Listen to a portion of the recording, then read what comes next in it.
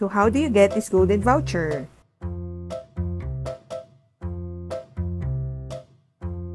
First, go to Downtown Mega Mart.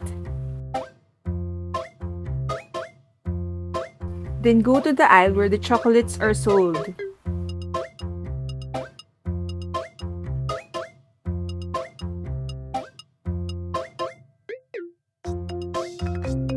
Then just keep on buying chocolates until you get the golden voucher.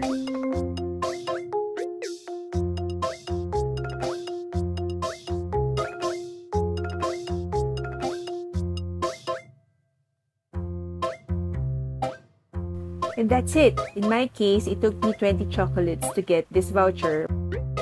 This toy has no action. You can just flex and hold it.